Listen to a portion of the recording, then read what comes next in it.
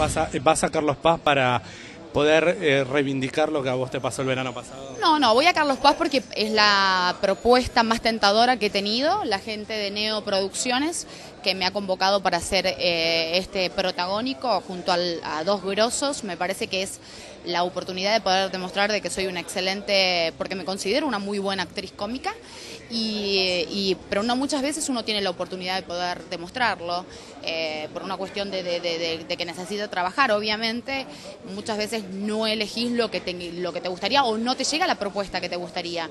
Este año tuve la propuesta, tu- tuve varias propuestas, entre las cuales estuvo incorporarme a Fantástica, digo, y, y decidí hacer esta comedia porque realmente para mí es muy importante volver a Carlos Paz con un producto muy digno y mucho más de la mano de Datilio y de, del Tano Rani. ¿El corazón cómo anda?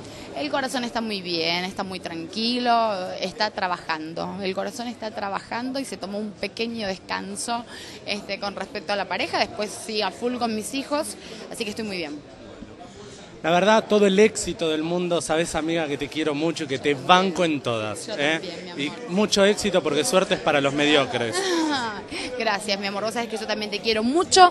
Así que bueno, nada, muchas gracias por estar. Te espero en Carlos Paz. Me por imagino que vas a venir. Por favor, te lo pido porque te reviento. Tengo que buscar de los pelos. Un beso grande y muchas gracias por estar acá. Recuerden, Bula Bula 16 de diciembre en el Holiday, que es en la principal de Carlos Paz. Ahí nos encontramos. Beso.